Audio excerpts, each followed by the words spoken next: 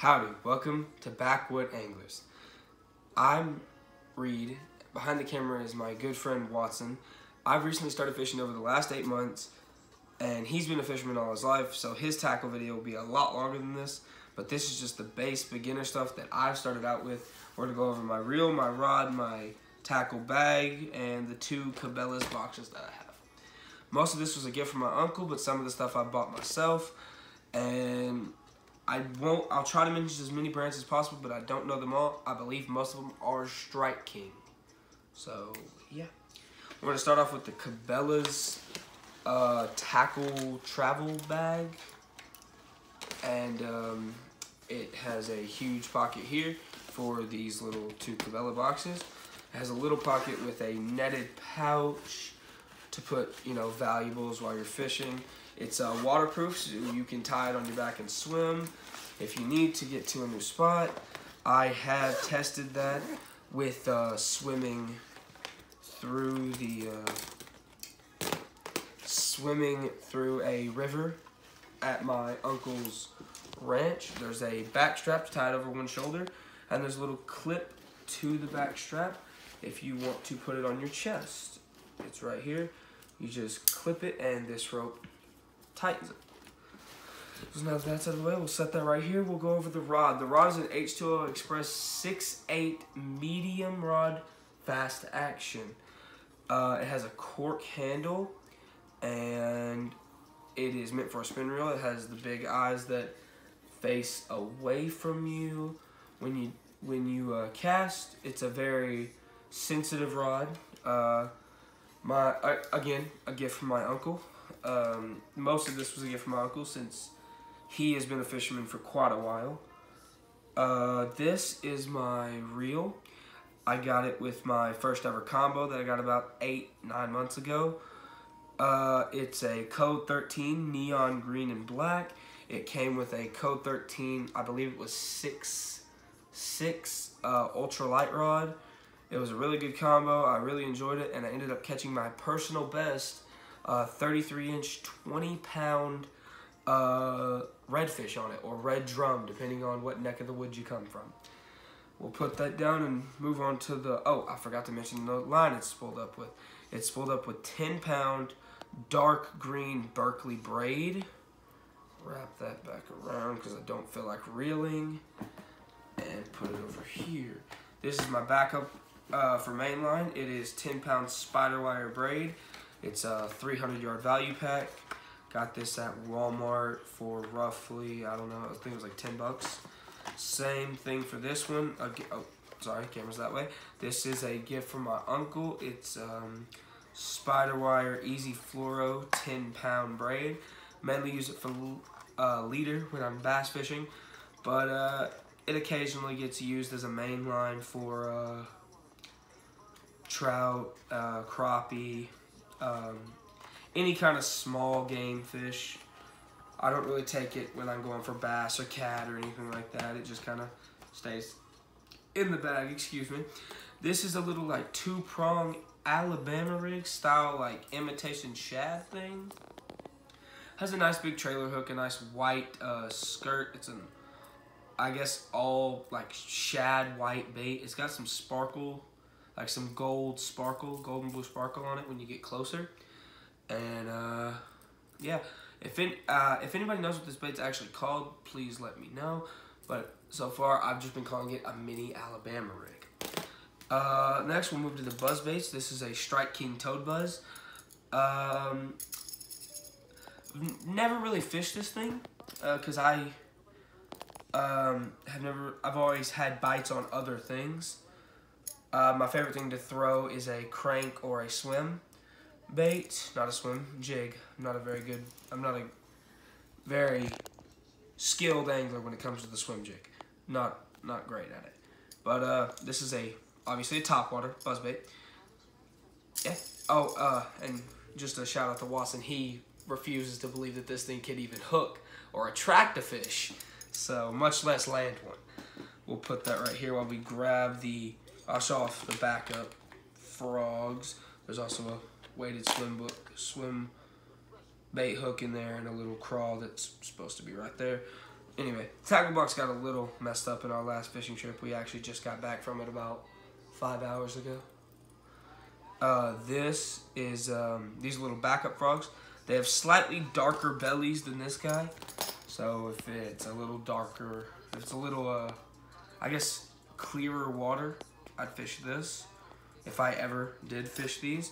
This is a little basic buzz bait.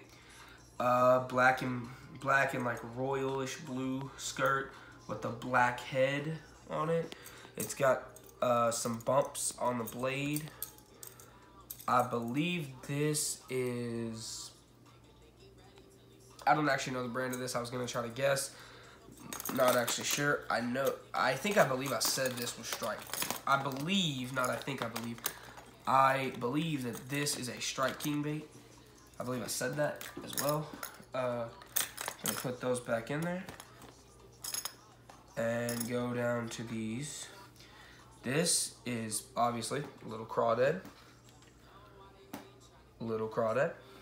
That's actually a bigger crawdad. Uh, more crawdad. More crawdad and more crawdad. So we'll skip that. That's just literally multiple color pro, uh. Bobber stops. Uh, glass bead maybe.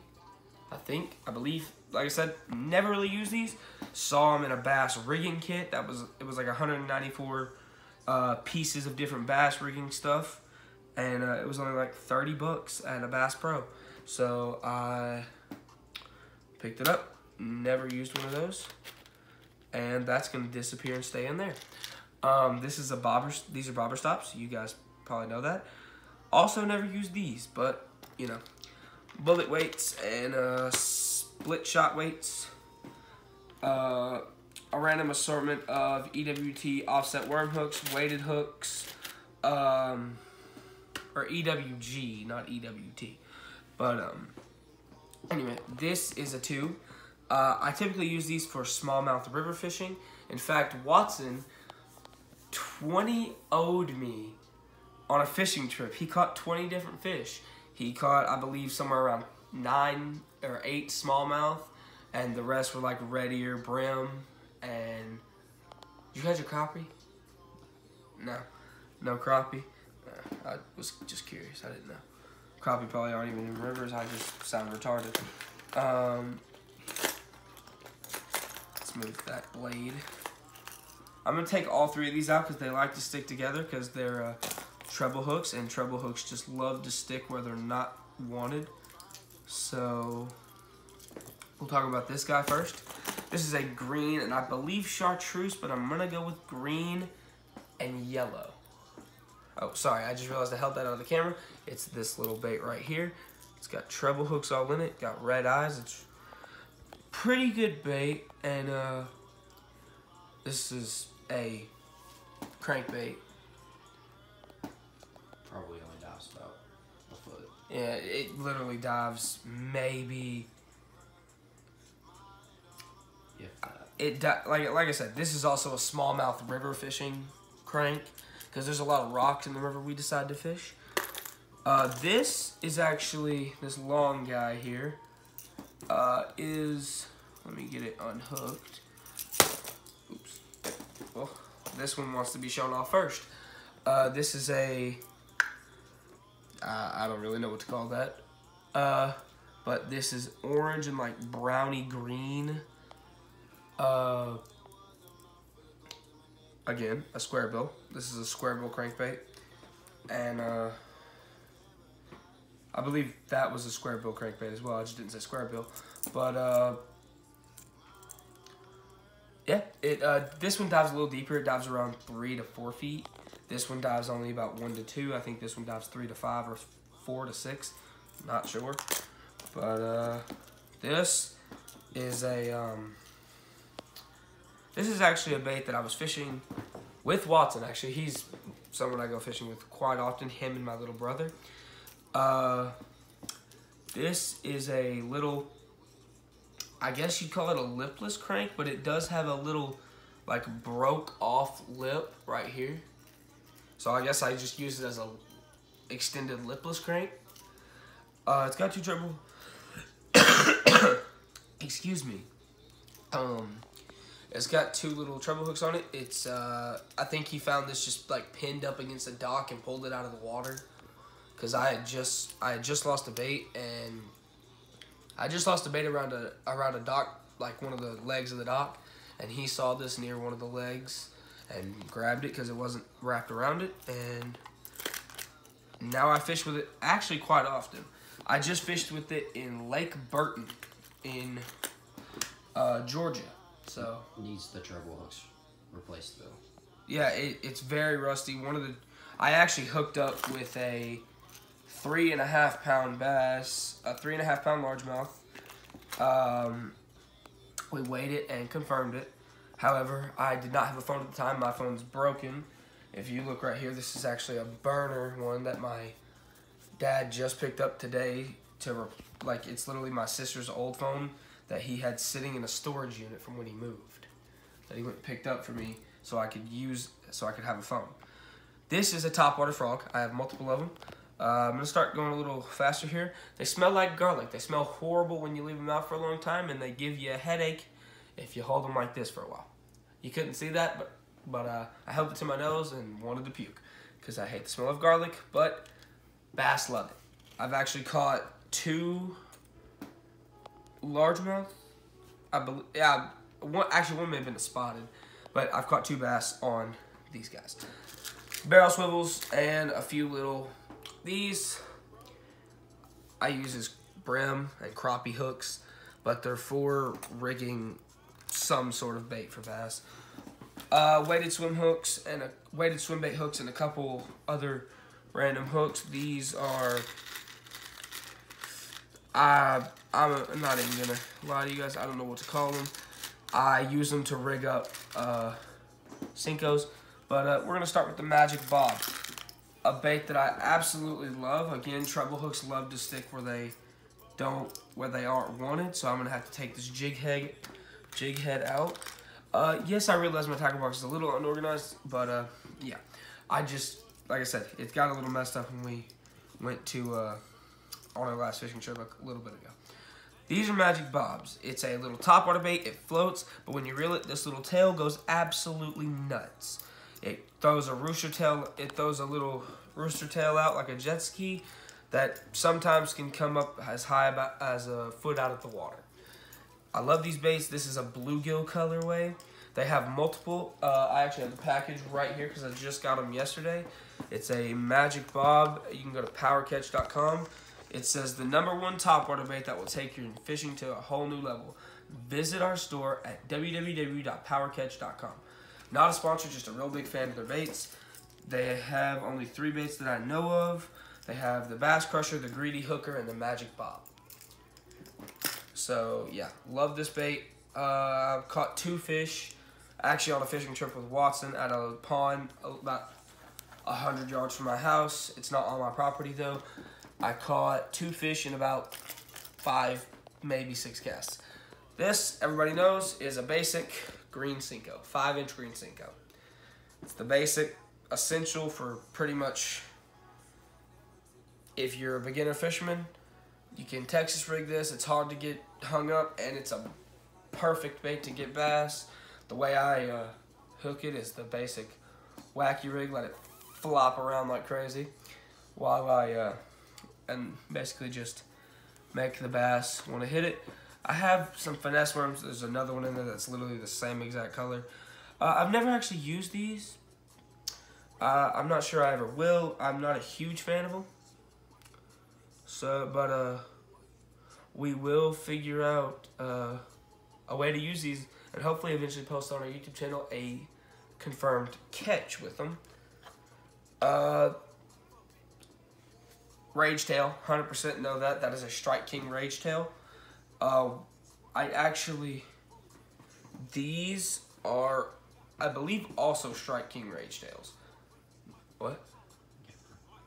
Oh, my bad. Um, not sure if uh, this is a rage tail. I think it is, but this is a rage tail. And as you can see, there's a little hook hole where I was using that today. Might have to throw that bait away. This is a monster swim bait. I call it the daddy swim. But uh I caught I've not caught a fish on this yet. I got it in Louisiana from a cousin when I went down there to redfish. Uh some black lizards, a line cutter, because it works a lot better and it's a lot cleaner. Uh, this is obviously pliers or tweezers, whatever you want to call them. It uh, holds, it clamps up, clamps down the weights, not clamps up, clamps down the weights, and it uh, helps get the hook out when you know the bass swallow it, or a trout has teeth and you don't want to get bit, or anything like that, anything of the sort. Uh, this is a nail uh, file. This is really for just if I have to sharpen a hook or anything, or sometimes I use it to like if I want to like split the tail of a bait. I use the little kind of sharp end and split split. It's something I would do. Um, this frog's actually pretty beaten up. The frogs under it are what I would probably use. Uh, over here we got some more craws. Just some more straight up craws. And uh, yeah, I think that's about it. I really appreciate all of you checking out the first video that'll go up on the Backwood Anglers channel. Hopefully we can post a few more videos. We are most likely going fishing tomorrow and we'll hopefully be able to put a video or two up on that. Maybe hopefully catch a fish or two. But uh yeah. Thank you for watching and peace.